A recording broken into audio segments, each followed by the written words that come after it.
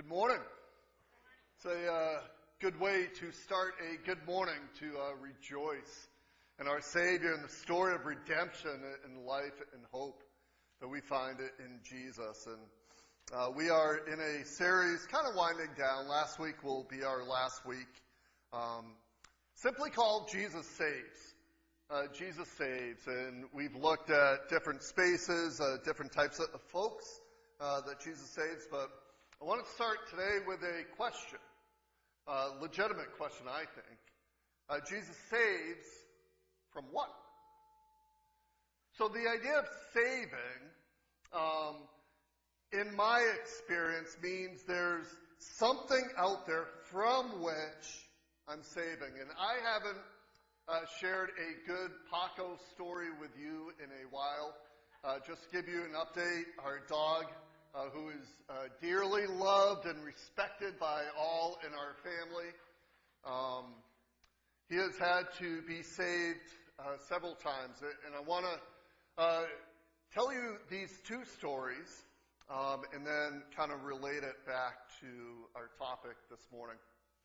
Paco, if you haven't seen a picture of him, if you haven't met him, if you haven't seen me draw stuff up here uh, that looks nothing like him, uh, Paco is a little silky terrier that we call a hand-me-down dog uh, because we never wanted Paco, and yet Paco ended up in our lives. And he's been with us since Sienna was born, so they've grown up together, uh, which is kind of interesting. When Sienna was two years old, uh, we called them, her and Paco, the terrible two, uh, because both of them were, were just crazy uh, trying to keep track of.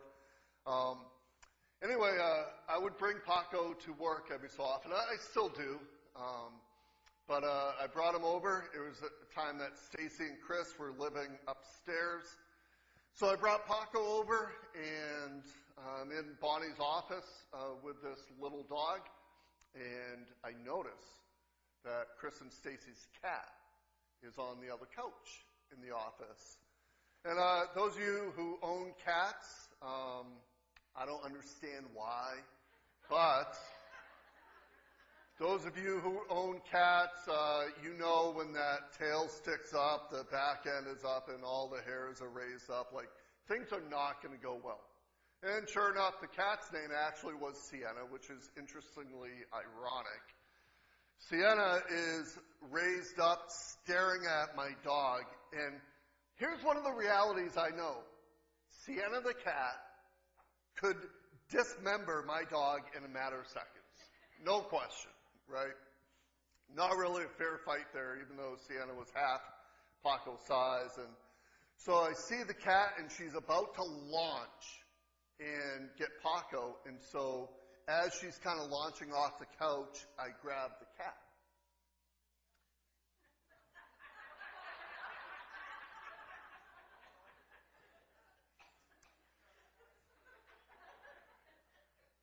Yes, uh, she had not been declawed. Um, and I ended up trying to get to the door with this cat who's now frantic. She thinks I'm attacking her, but she's already got her tension up because she wanted the dog. And I end up opening the door, uh, tossing Sienna out, closing it, to then look at my arms. And um, maybe the worst thing I had to endure was my family for the next few months singing Cat Scratch Fever to me. And it was a mess, but um, it, it was interesting. It, bonded, which is weird to say. Are we recording this for evidence? It bonded me and Paco in a new way. Like after he recognized, not that I don't think dogs really think this way. If I'm honest with you, they're dogs. Um, but it, it seemed like Paco uh, came to me more in a, a new kind of way, like, wow, you're my rescuer, you're my hero. And I still didn't like him any more than before. Uh, but my second saving story, that one was clear, like Sienna was out to uh, get him. I saved Paco uh, from the Libby's cat. Um, the other one was this year, uh, maybe the end of last year uh, we were walking Paco down the road, and Uh, Paco, he doesn't have a whole lot of uh, common sense. Um, so he's a little dog, and if you have a little dog, you know this complex that little dogs have. They see a big dog, and they can't just walk by like, oh, look, it's a big dog. Good morning. Instead, they, they go in attack mode like, yes, I want to take this big Doberman down and I can do it. And everyone else in the entire world is looking at that scenario saying, you're just snack for that thing. Like, what are you doing? So sure enough, my dog starts going, pulling it at the leash. And there's a, a big dog. I, don't know what kind it was. It, it was dark out. Um, but he kind of caught, obviously, on the other side of the street, this little dog is barking at him. And he launches for him. Well, the guy had a good hold on the leash because he kind of saw it coming too. We, we both saw this scenario unfolding. So he grabs hold of the leash really, really well, except the dog broke the collar. That's how much he wanted Paco for snack. And now I see this big dog running towards my dog, and I'm holding his leash. And um, we played this scene out how many times um, in, in story in our family? Okay, I've got my dog who's trying to launch towards this big dog. A big dog now, uh, unleashed, running at my little dog. And, and this one thought hit me. You can imagine, right? I need to save Paco again.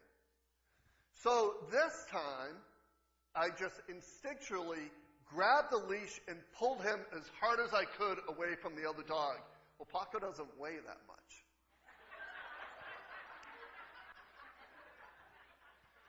And my kids are watching the scene unfold, and he literally goes airborne. And while he's in the air, I turn with the leash in very quick motion, and Paco makes this half circle in the air until he's behind me, and then I can grab the dog, and the owner's running it, and it was all good. And we laughed about that, but I saved Paco twice, which put some kind of badge on me. I'm not sure what badge that is, but when I think about those kind of fun stories, um, they're kind of packed in our vault. They come out every so often. Um, it is clear to me when there's a danger around and a pet, certainly sons and daughters, right? Some of you could share stories that aren't humorous about coming in to save, to rescue a son and a daughter out of a very precarious place that they might have been because you saw the threat. You knew what they needed saving from, or perhaps it was a spouse, a friend. Which brings us back to our question. We celebrate that Jesus saves. But what is he saving from? Here's some examples of what I do not believe Jesus saves us from. Uh, Jesus does not save us from a hard life. I mean, if we're honest with each other, I think I would vote for that one. Like, I, I would like rescue from that. And we have promises that in the kingdom to come, in Jesus' good age, when he's reigning as king, these hard things disappear. But in this life, you're promised that you'll face hard things. Uh, Jesus doesn't save us from a hard life. Uh, we don't promote at FCCB what's called a prosperity gospel.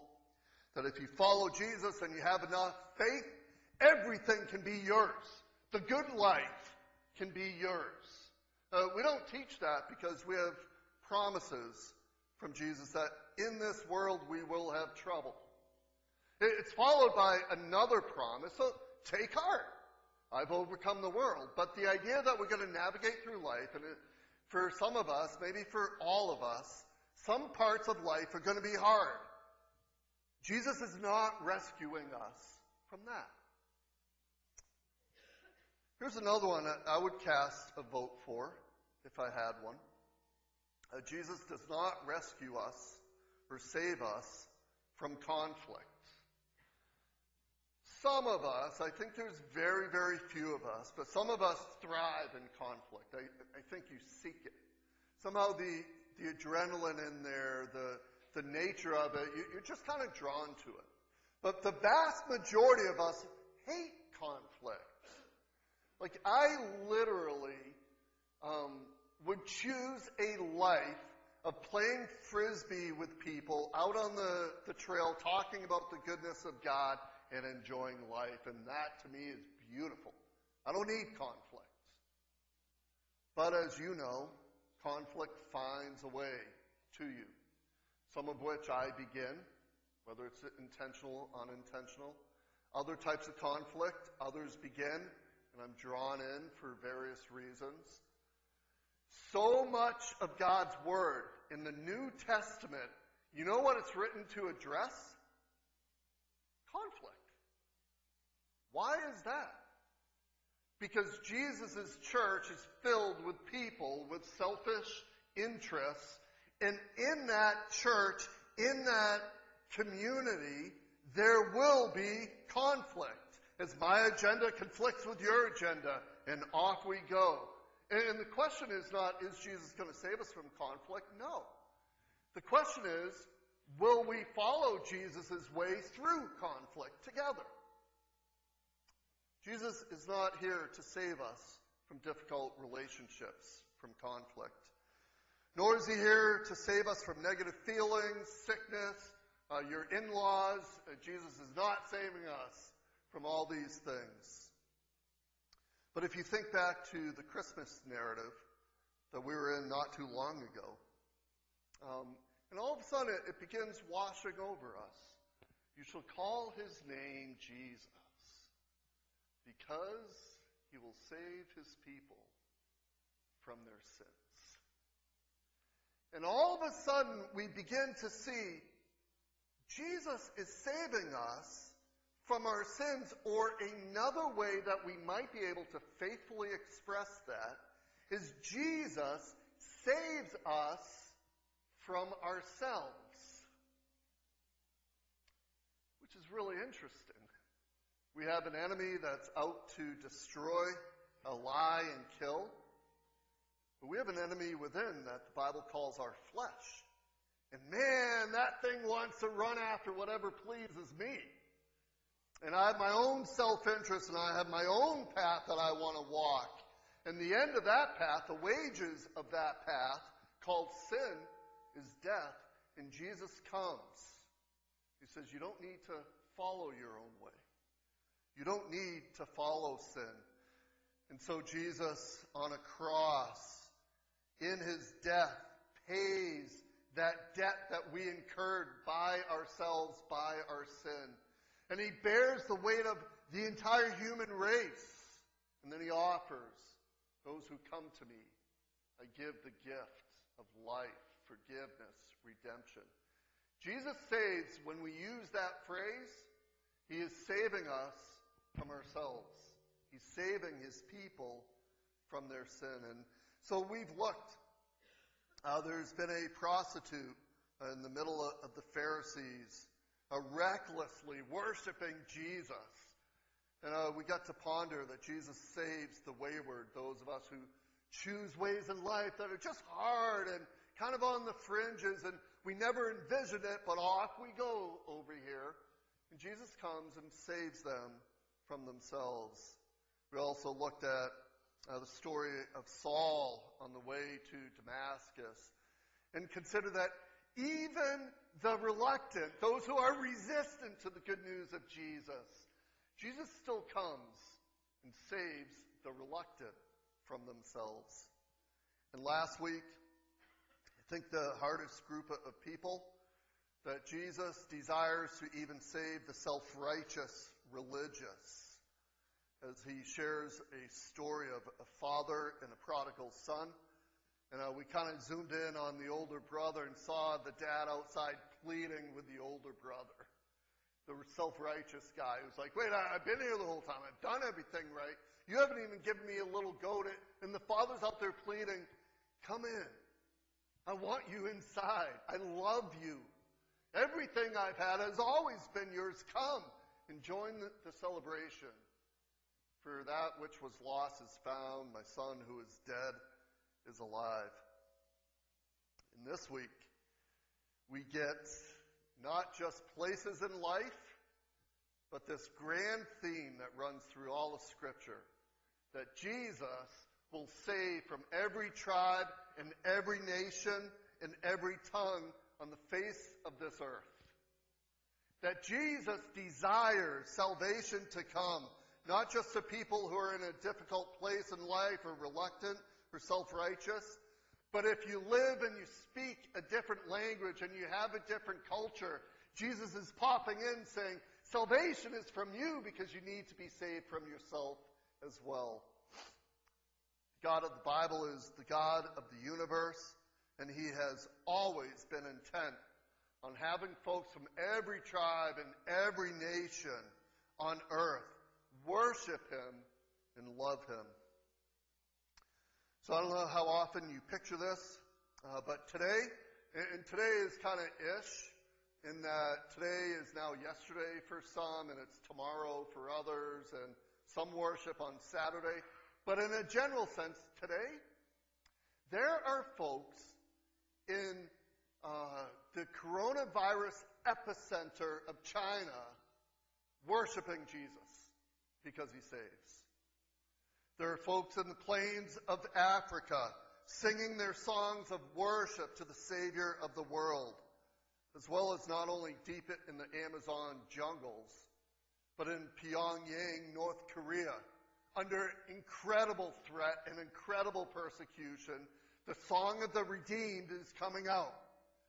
Jesus saves from every tribe, every conceivable setting, the persecuted, those who are free, the urbanites, the villagers. Jesus is saving and gathering people to worship Him from every tongue and every tribe on the earth.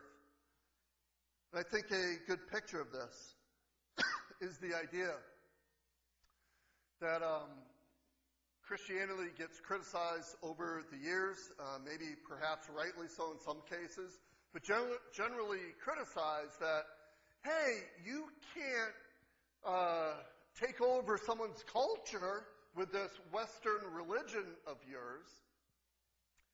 And uh, I think a better picture for us is that Jesus in his effort to save, when the good news is proclaimed that God is for them and God forgives them and God saves them from themselves, that in response to that, people are willingly and excitedly laying their cultural treasures down before the culture maker, saying, You can have it all, Lord. All my history and all my story and all my important things, I lay them before the cross for you to sanctify, for you to change. And it's happening all over the earth. I want to take us to Revelation chapter 7, if you can turn there. Uh, Revelation is the last book in the Bible, so it's fairly easy to find. Uh, Revelation chapter 7, beginning in verse 9.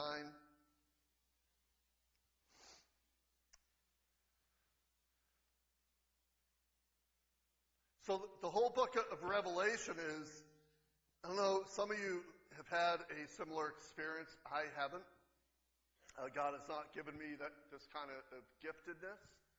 But some of you have had the experience of uh, you go into worship, maybe it's personal in your backyard or your sacred space, maybe it's here together uh, with saints at church. But you've had the experience, you go to worship, and it's like all of heaven and all of earth become crystal clear. And there's a merger and you can see and hear what's happening in the heavens even as you're on earth. It's like a, a curtain gets lifted, which is the exact scenario that John had on the island of Patmos. He goes to worship. And in his worship experience, Jesus comes, lifts the veil, and reveals to John what is to come. And there's been countless debates about when is all this going to happen? Is it back then? Is it progressive? Is it out in the future? Um, the answer probably is yes, yes, yes, uh, whatever that might mean. Uh, but in Revelation chapter 7, uh, Jesus gives John this vision, and he goes through 144,000 people 12,000 from each tribe of Israel. And then in verse 9, we pick up our text.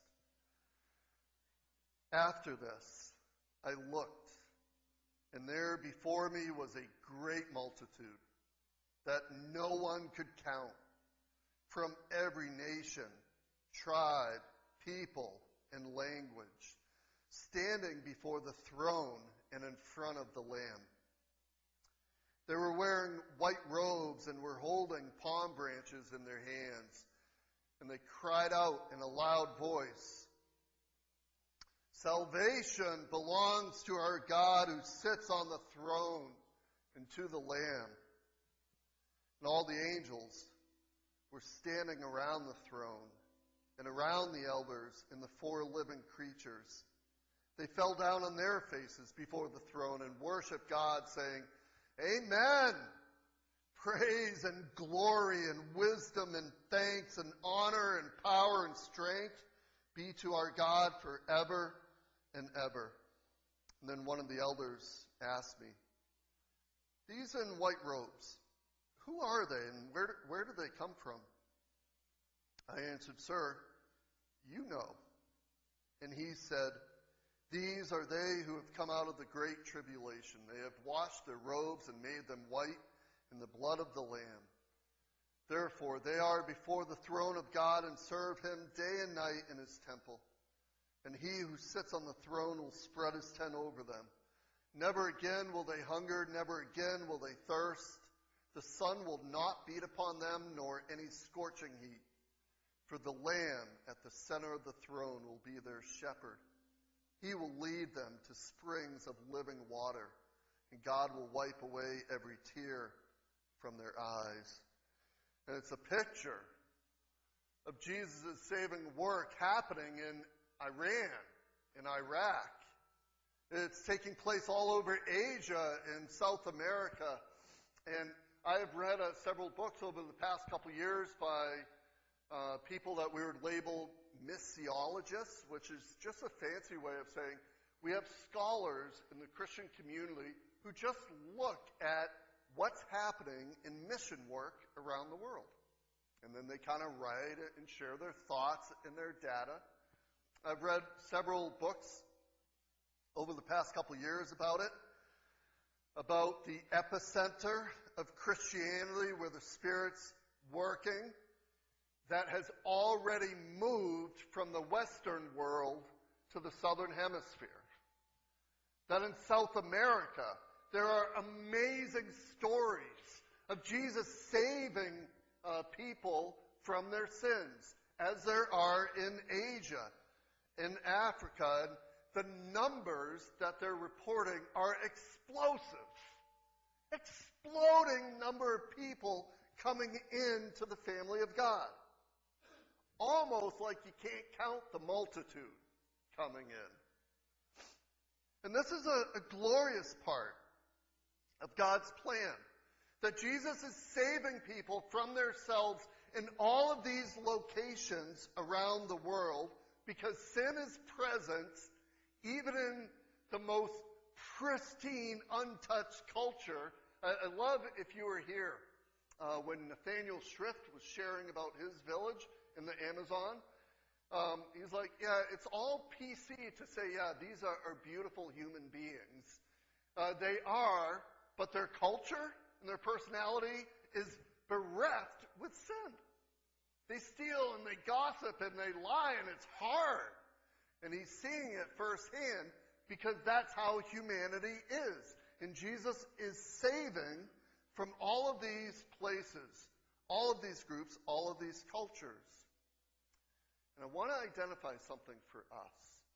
While that is part of God's glorious plan and we can celebrate it, it can be hard too. It can be hard for some of us because it means America is not the front and center actor in God's plan. And that can be hard to process for some of us. Because I think unspoken for many, many years, we've believed precisely that. from the foundation of our country that this is the new promised land.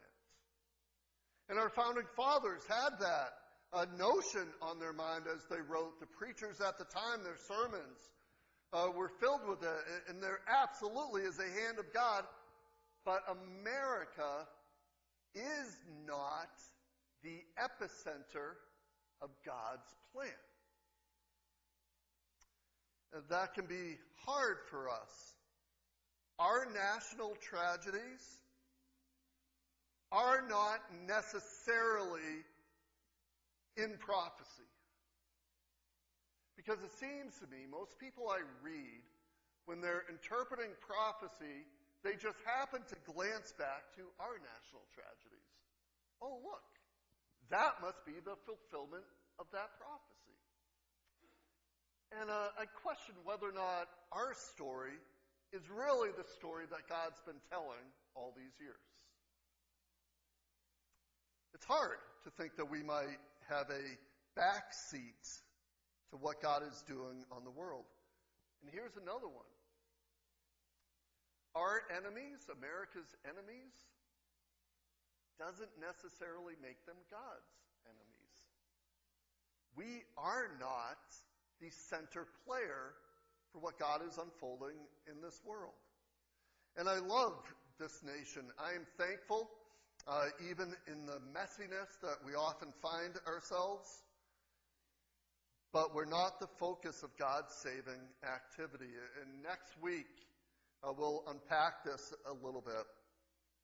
But we are identified rather in Jesus as foreigners and aliens passing through the strange lands.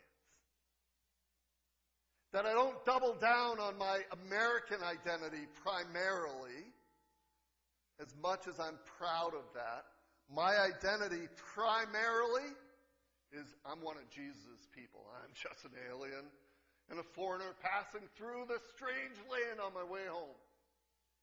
And that home is Jesus. God has raised up empires for his purposes and then disposed as he is pleased for millennia. And we are not the apex of his plan. And if that offends any of you, I, I just want to say, if you're offended by that, it doesn't make it less true. And we can process that out together if you want. But it's not just America, but the fact that there are people from every tribe and nation that Jesus is saving and gathering together. Uh, but maybe here's an even more relevant truth for you. All right, you ready for this? It's not a shocker, but we just need to identify it. You are not the apex of God's plan. Sorry.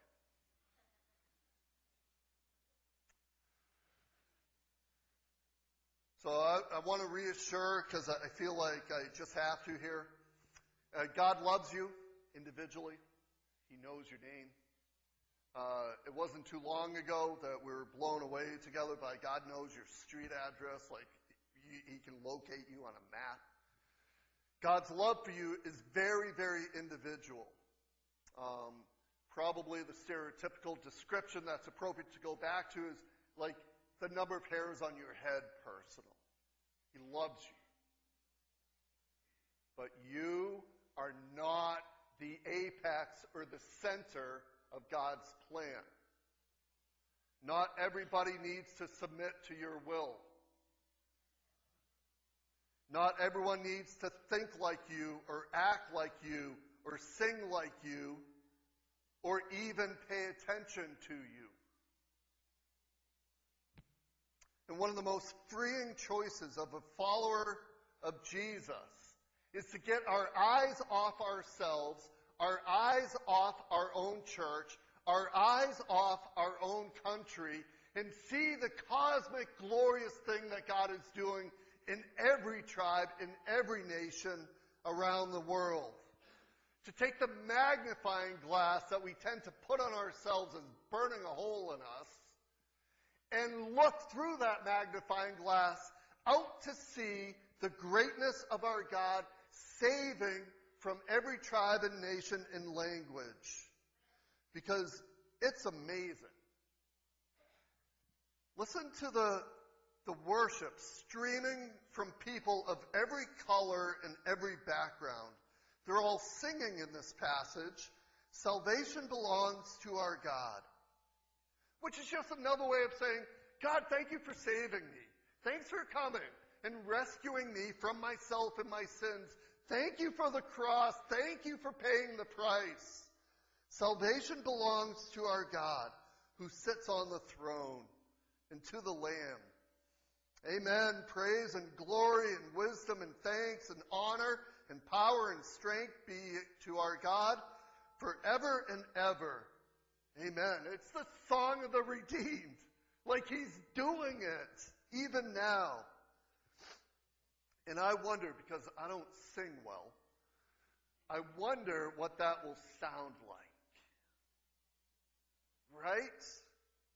I mean, what happens when the Yankee from New Hampshire is just getting at worship next to the Brazilian urban teenager who is sitting next to the Cambodian rice worker, and all of their hearts and souls are just pouring out in worship to Savior. What does that sound like?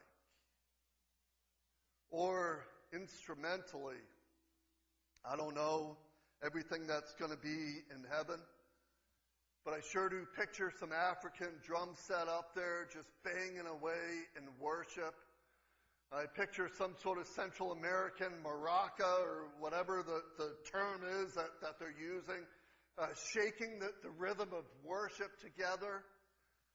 Whatever instruments they use in the Far East, whatever flute melody is being played in there. And, you know, you've got to also picture in that moment the, the American guy with the bandana and long hair and his electric guitar, you know, strumming up and where do I plug this thing in, man?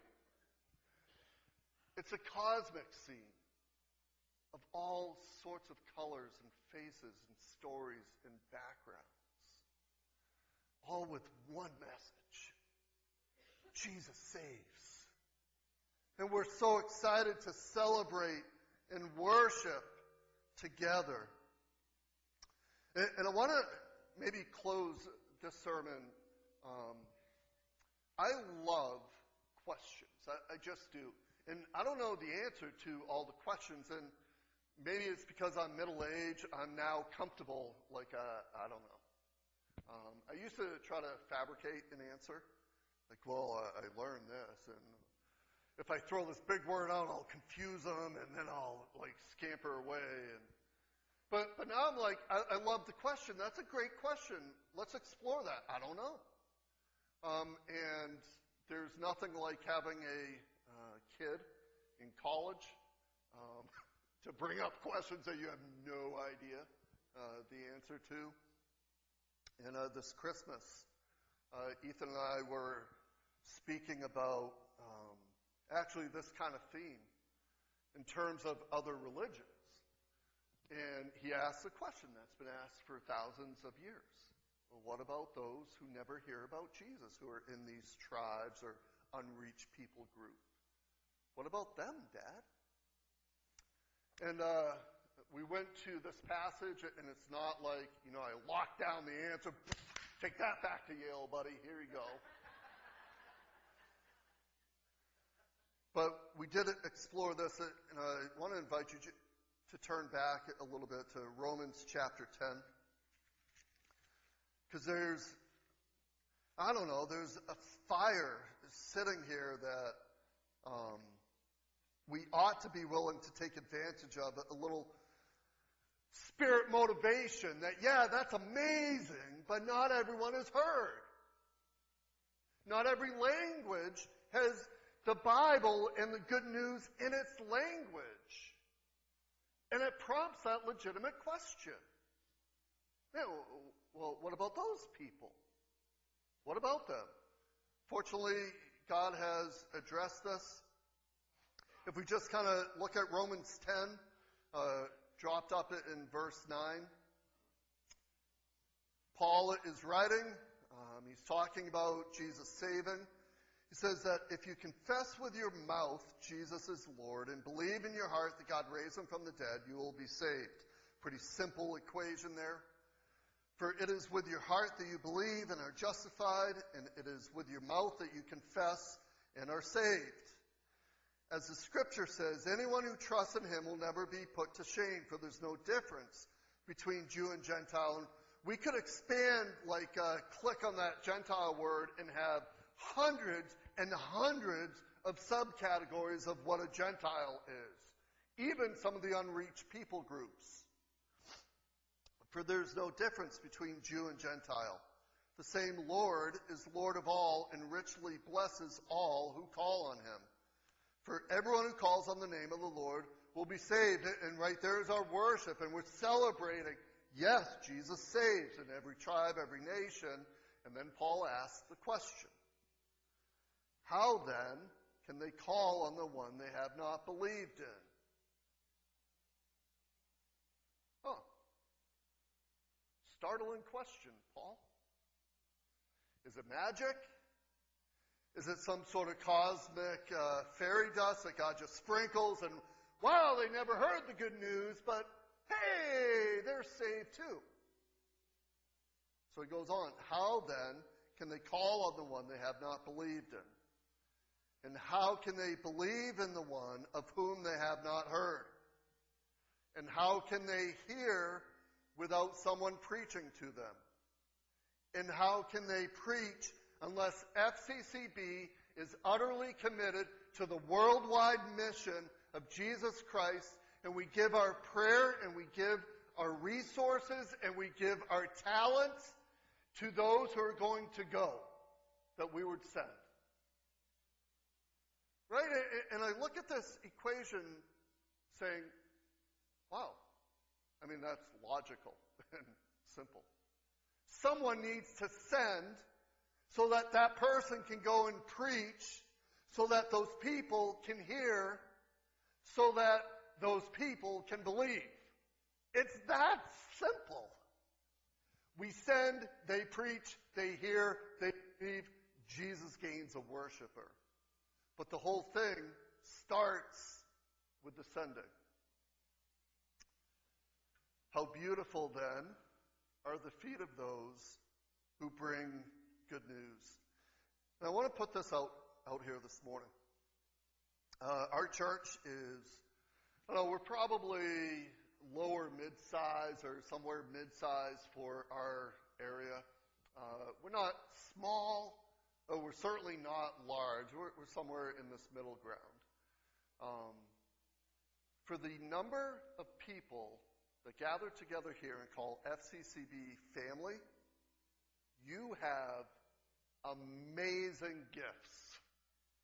I am amazed time after time what FCCB together, as we share our gifts with each other, I am amazed at what the body is equipped. And I say that because FCCB does not need to be on the sideline of this mission of God. Nor do I believe we simply have the shrifts in the Amazon and we're sending some money and it's actually beyond that. We have a deep winding of our hearts with the shrifts. But we don't need to say, hey, look, that's what we're doing. We can celebrate that but do you know how close the campus of UNH is to us? Do you guys remember the days that we spent time with their international students? And the joy that we had as a family? Because there was some gospel and good news that was going to the ends of the earth through our connection with some of the international students. It's like we have the world 10 miles from us. And it just makes me wonder are we passionate? Am I passionate as a pastor to send and to preach? I don't know what the age is. There's probably no particular age, but certainly the younger generations among us. I think those of us in the older generations, I don't know, we have this responsibility It's joyful, it's exciting, but it's also simply a responsibility to pass on to younger generations that fire that Jesus saves, and He's saving from every tribe and every nation, and He wants you to be a part. And it may be in the sending, it may be the preaching, it may be the believing. But as we raise our kids and our young adults we're discipling, I just kind of think that ought to be somewhere on our radar. Because FCCB is good, but we're not great. It's not like we need to devote all of our time and all of our resources to the programs we have going on, or to argue about the latest preference, or I want this, they want that, and let's just have some conflict about that. It, there's this beautiful picture of what Jesus is doing around the world, that FCCB has the invitation to be a part of. And, and I find that brilliantly freeing. God, thank you that your people get to be a part of your worldwide mission. Jesus saves from every tribe and every nation. It's colorful. It's loud. And I find it so exciting that we get to be a part of it. By praying, by writing, by sending, by loving, even by sharing meals together. Because I'm not the epicenter of God's plan. And that might be the healthiest reminder for me this morning. I am not the epicenter of God's plan. Nor are you.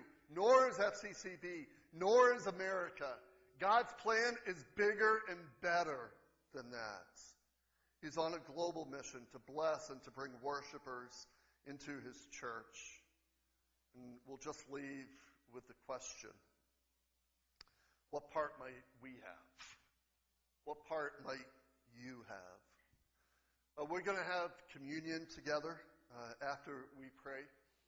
And uh, I've always said communion has all sorts of different elements to it. And sometimes we uh, press into the repentance piece, sometimes it's the wedding banquet. Um, I can't imagine a better um, aspect of the Lord's meal that we could think of than there's one Lord and one faith and one bread. There's one table. And it's this table that's feeding the Jesus worshipers around the world. The body and the blood of a Savior that was broken and spilled for people like us and people like the North Koreans and Iranians and there are millions of people sharing this meal together, celebrating the same Lord as you and I. So let me close in prayer. I'll invite uh, Bruce and Bruce and Dan if you want to come up to the piano. Uh, we'll hand out communion and then uh, we'll celebrate together. Father, your vision, your heart, your desires are so much bigger than ours. Uh, your plans are so much better than ours.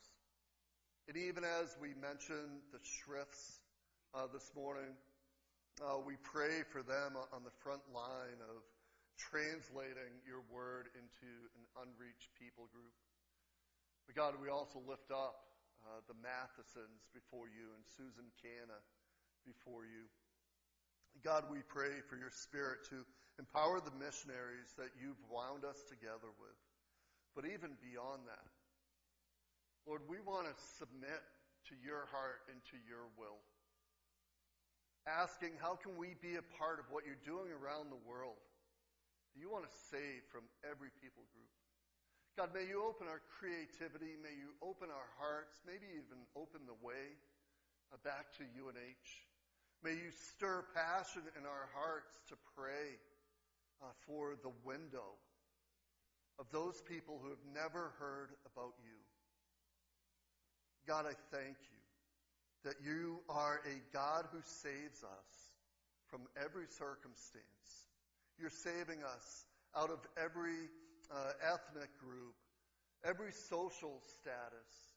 God, may you lift our eyes to see and to worship you for the God that you are a God who wants to bless and rescue from every tribe and every nation and every people group. And may it be so, and may you use us for your purposes and for your glory, even as we worship around your table.